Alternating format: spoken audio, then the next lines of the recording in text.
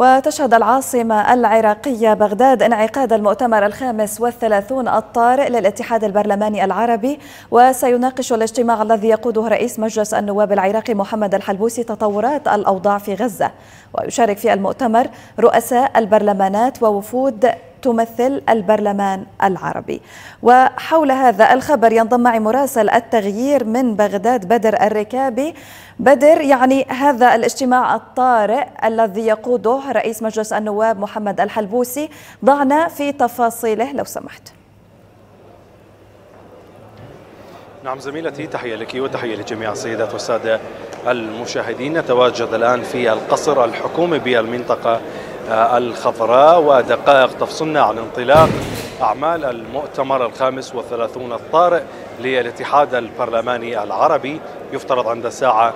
الواحدة والنصف آه، يعني بتوقيت بغداد تبدأ أعمال آه، المؤتمر الخامس والثلاثون الطارئ. آه، لغاية الآن يعني رؤساء البرلمانات ما يزالوا يتوافدون إلى القصر الحكومي بالإضافة إلى الوفود البرلمانية المشاركة في هذا المؤتمر الطارئ الذي يعقد بنسخته الطارئة هنا في بغداد ومن أجل مناقشة الأوضاع في غزة وتطورات هذه الأوضاع والخطوة التي يرعاها العراق من أجل أن يكون هناك تضافر للجهود العربية وتوحيد للمواقف العربية إزاء ما تتعرض إليه غزة وأبناء الشعب الفلسطيني الشقيق من قبل الإبادة الجماعية التي تمارس وتنفذ من قبل الكيان الصهيوني الغاشم. لغاية الآن ننتظر الدقائق من أجل بدء أعمال المؤتمر ما وصلني آه، من معلومات نعم. تفيد بأن المؤتمر يبدأ عند الساعة الحادية والنصف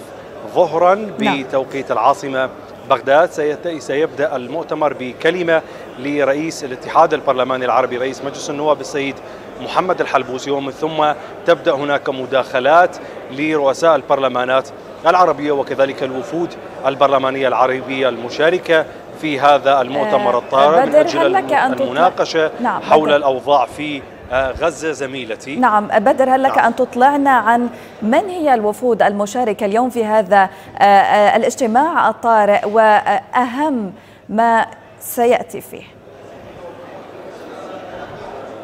كل الوفود العربية هي حاضرة كل البرلمانات العربية في الدول العربية نتحدث عن 22 دولة عربية هي مشاركة في هذا الاتحاد وبالتالي هي آه، حاضرة اليوم في هذا آه، المؤتمر من أجل المشاركة في هذا المؤتمر الطارئ الذي دعا إليه رئيس الاتحاد البرلماني العربي رئيس مجلس النواب السيد آه، محمد الحلبوسي. سيكون هناك مناقشة تبدأ بعد كلمة رئيس الاتحاد محمد الحلبوسي ومن ثم يأخذون وقت استراحة من أجل المناقشة والإعداد للبيان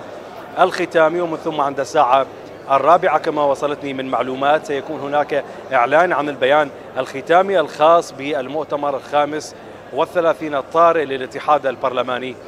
العربي. ما تفيد أيضا المصادر لي بأن المؤتمر اليوم سيتمخض عن موقف عربي تجاه غزة من أجل إيقاف الحرب وإيقاف ما تتعرض إليه أبناء غزة وأبناء الشعب الفلسطيني الشقيق من قبل الكيان الصهيوني وأيضا أن تكون هناك اتجاه نحو الأمم المتحدة من أجل إيقاف